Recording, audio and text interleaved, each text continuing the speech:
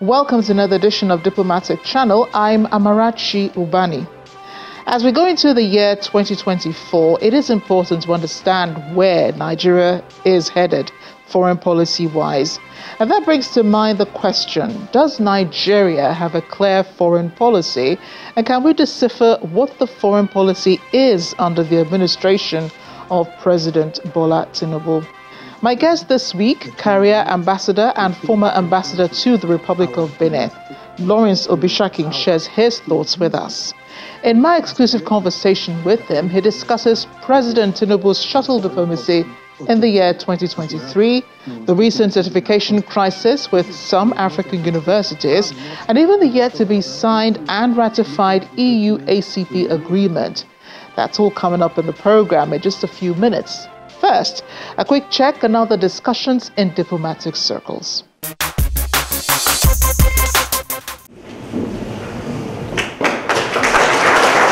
Somali President Hassan Sheikh Mohamud has signed a law nullifying the Memorandum of Understanding signed between the government of Ethiopia and Somaliland, leasing a 20 kilometer stretch of land along its coastline to Ethiopia to establish a naval base. The deal was supposed to come into effect on January 1st, 2024. Somaliland President Muse Bihi Abdi said the agreement included a statement that Ethiopia would soon recognize the territory as an independent country, which is where the bone of contention lies.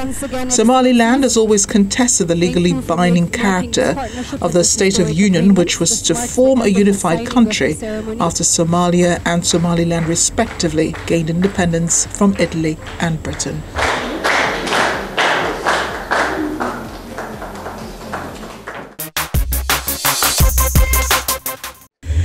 Council President Charles Michel says he will be stepping down from office early so he can stand as a member of the European Parliament. Mr. Michel's tenure runs out in November, but the Parliament elections are set for June, and the next European Council President must be elected by a majority of the EU's 27 leaders. If no successor is found in time, Hungarian Prime Minister Viktor Orban would temporarily hold the presidency.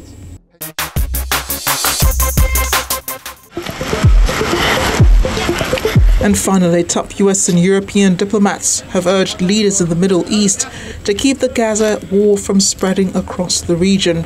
But Three months into the conflict, more bloodshed underlined the challenge as Israel presses ahead with its offensive. U.S. Secretary of State Antony Blinken and European Union's top diplomat Josep Borrell were on separate trips to the region to try to quell spillover from the war into Lebanon, the West Bank, and Red Sea shipping routes, where Yemen's Iran allied Houthis have said they will keep up attacks until Israel halts its campaign in the Palestinian enclave. Jordan's King Abdullah has urged Blinken to use Washington's influence over Israel to press it for an immediate ceasefire, warning him of the catastrophic repercussions of Israel's continued military campaign.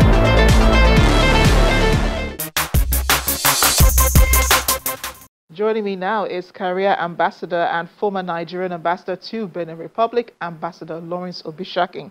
He joins me from Abuja. Ambassador, Happy New Year, and thanks for joining us on Diplomatic Channel.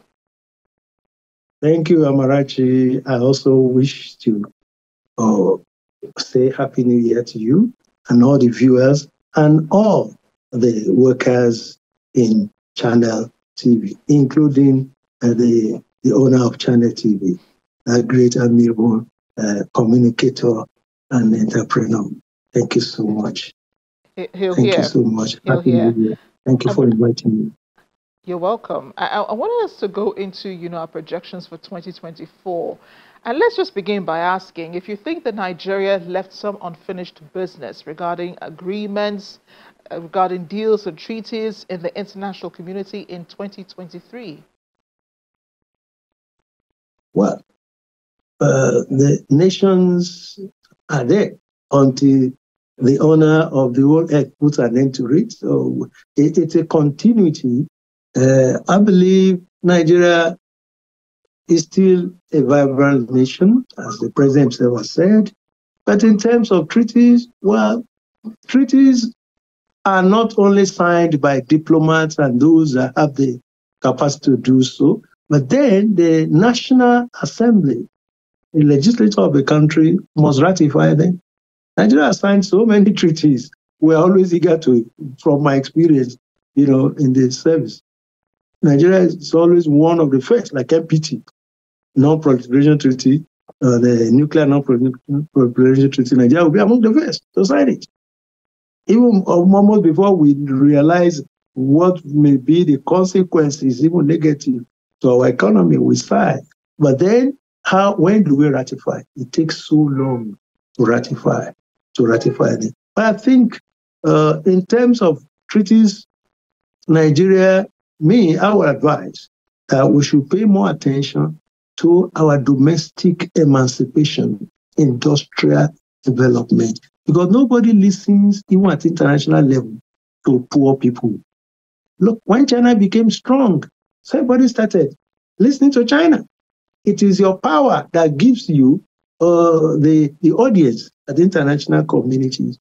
Well, the ECOWAS, which is closer to us, we have been doing our best almost to our detriment at times, but we need to pay attention to our domestic, you know, power to use it to as a leverage our international relations, our foreign policy objectives, as we have, you know, stipulated in our constitution. This is the much I can say. I'm not in the service now. Those who are looking at the document, they will know where we are lacking. But we are paying attention at what we see, the ACP, the EU and APC, the, the, the ECOWAS Treaty, the African Union, yes, that's immediately, that's our immediate uh, attention here. This is what I can say, you know, Amarachi. Yeah, and, maybe, you know, it is um, the reality on the ground with its domestic policy that probably, you know, spurred the president on to his shuttle diplomacy, a lot of which we saw uh, soon after he assumed office in on May 29th. Would you consider them helpful for Nigeria's growth? I mean, he, he made a number of trips. Uh, South, uh, United Arab Emirates about twice, Saudi Arabia about once. Um, he went to India. He also went to the UN, uh, New York, and you know, and then finished off in in in Germany. And uh, you know, do you think that these deals are helpful for Nigeria's growth when you compare them to the realities uh, on the ground that we present realities that we're seeing, the economic hardship and everything else that Nigerians are going through right now? Thank you. You see, the president, like a, a big grass cutter, he does not jump out in the wild in the hot afternoon for nothing. If it's not being pursued, then it steadily pursues something. The president of the Federal Republic of Nigeria is a very busy person. I happen to have worked with one of them for about four years. He has so much to do at home. A big nation. Nigeria is made up of many nations, nation states. And so there's so many uh, like, security is there for him to pursue at home. The economy itself. Look at the oil subsidy removal, what it has cost. It's almost like removing the teeth of an elderly person. You know, so if he goes out, it's because there's some there's need for it. I believe the President Bola Ahmed Tinubu is a very experienced politician, and he knows that must watch your back every time. But I think going out wasn't to me, wasn't too many. If if if we have an objective, you know, to meet like ECOWAS summit, some are statutory, they are mandatory. Is the, is the chairman of the of the ECOWAS authorities of states, and he must be there. And we are even lucky that the headquarters is here. So each time ECOWAS does, he must be there if he's the chairman, and he has to go on behalf of ECOWAS too, on behalf of his country. So if he goes to to speak for us, because the president is our figure, is a father figure, is also the symbol of the the whole nation of Nigeria. So I believe that uh, going out by the president, of course, is not just for nothing. Look at our system is after the United States of America, the presidential system. When President Biden goes out, you know that uh, there's something there for them. So I believe those who are who are in charge of his itinerary, they must have known and realized that uh, because for president to go go out is expensive. You know, people mm. some some you have to go for recce. The advanced you know team has to go, and then they will know they will uh, realize that uh, you know this is profitable for Nigeria. Uh, you know, people also look at it that way, and uh, the president cannot just go out for nothing. You know, not only is it expensive, uh, it's also it's time. The president doesn't have time. Yes, but if you look at if you look at the realities on the ground, I mean, um, and the message that he seems to have been, you know, uh, uh, perpetrating, you know, outside, it is that Nigeria is ready for business. So, so he says, um, the bottlenecks are removed. Uh, we're ready for investments. But but on the ground, you have uh, local current, uh, local uh, manufacturing industries, local industries, beg your pardon, mm. um, that are struggling. Mm. You have a system that is already struggling. You don't have regular power supply. Um, foreign currency mm-hmm. is hard to come by. There's also a difficulty in repatriating these funds. and then you also have uh, the issue of petrol. We're an oil-producing uh, country, but yet mm-hmm. you know we're paying so mm-hmm. much, you know, for subsidy which he removed, and then now you know the price of everything has gone up, even though the price of everything has also gone up everywhere else. But when you compare what's going on on the ground, and then with the president going from nation to nation and saying Nigeria is open for business, Nigeria is, I mean, and then he's asking for you know these funds, you know, to come into the well, country. Is it realistic though? He is our number one public relations officer. And luckily, you and I were in this business together. Uh, you know, if you don't say that your market is good, who will say price? Nobody. But the truth is that uh, uh, there are some advantages in what's been done. Nigerian naira has been seriously devalued, but it means that Nigerian products will be cheaper. We found out even going to Benin Republic, you know, just close here, that I visited a few weeks ago, so that more of, they are buying more of Nigerian products now. The only problem we have is that we are not producing much, and that we are not, you know, the the, the, the ingredients, the element, the, the, the, the input of our industries, they are too foreign, you know, import dependent. If we were producing most of the things we're using here, like if we are producing cars, everybody want to buy Nigerian cars. Because look at it, you know, Amarachi. In the past, with one thousand dollars in your naira in your pocket, one thousand naira, you will take three thousand French CFA. But now with one thousand naira in your pocket, they will give you nine hundred eighty-nine. But look at it the other way around, the positive way. What Benin people used to buy for 3,000 CFA in Nigeria, they will now buy for 980. So it means they will buy four five times. But the problem is that it cannot be 980 because most of the inputs of our industries are also imported. So we import other, other people's inflation too. What I think the president should be doing is to make sure that our industries are more productive and that we have more indigenous, you know, products.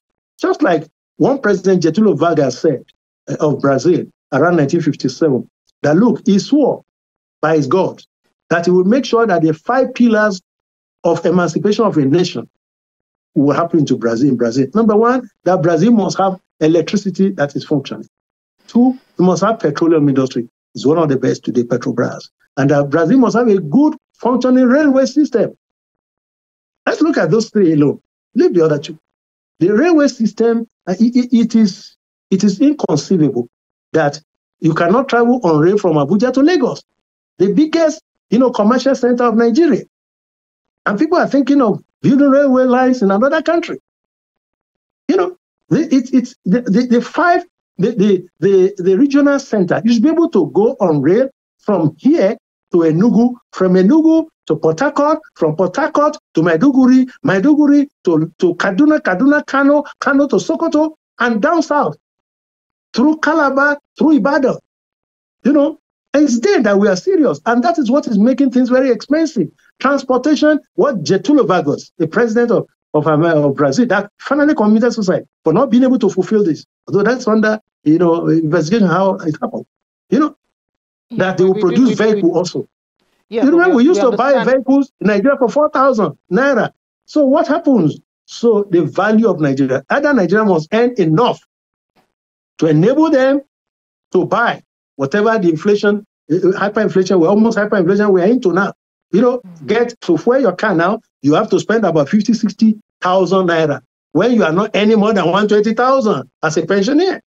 At most 150. So how would they survive? Well, we'll continue exploring foreign policy because, um, you know, we also need to explore the rumors uh, that emanated this week that mm-hmm. ECOWAS mm-hmm. is in negotiations with the Sierra Leonean government about the former president Ernest Koroma serving his exile here in Nigeria nothing like it's not like this is the first time this has happened.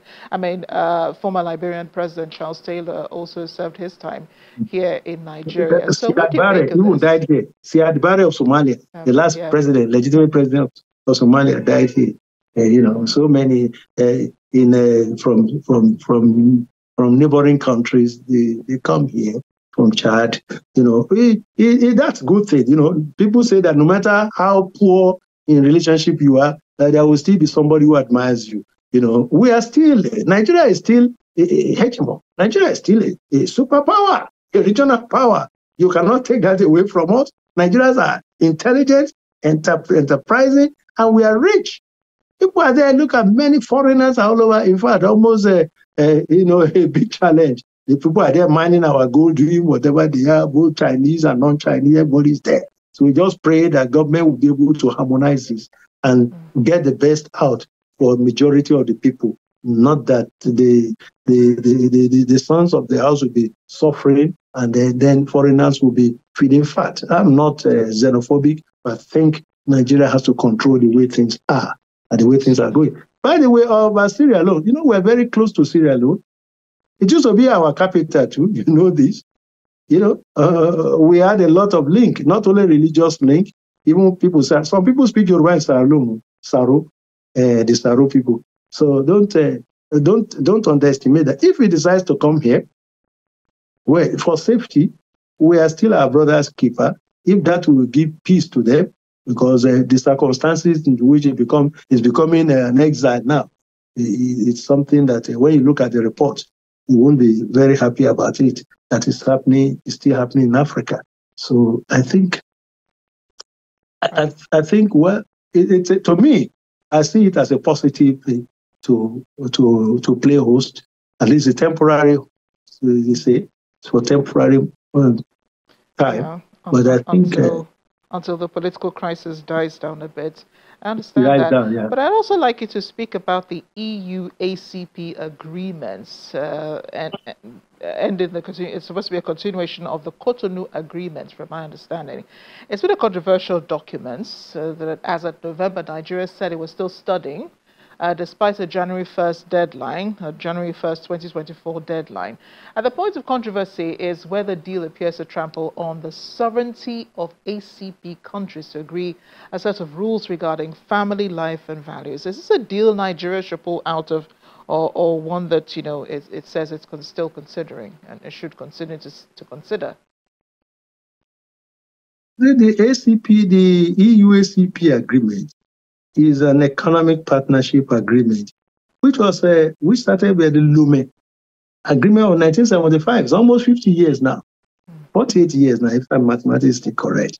You know, why why did we sign it? It was a formal relationship agreement, a convention. It has been revised several times now. It is to help the signatories, usually African, Caribbean, and Pacific countries to have access to uh, markets of the EU. But, you know, let's look at the larger picture. How long shall we continue to depend on Father Christmas? We must be able to fly on our own wings now. Nigeria became independent politically in 1960. But have we become economically independent? We're still begging from someone to give you access do you need to beg for access when your product is good? Good wine is no bush. China doesn't beg anybody again now. And there was a time when Japanese product, my uncle told me, well, oh, they said this Jap, it can be a good product. But people are running after Japanese car. Oh, it's China, it's Taiwan. Look at people are running after them now. So when will people begin to run after Nigerian product? I said yes, hello. Don't we have a car called Nigerica?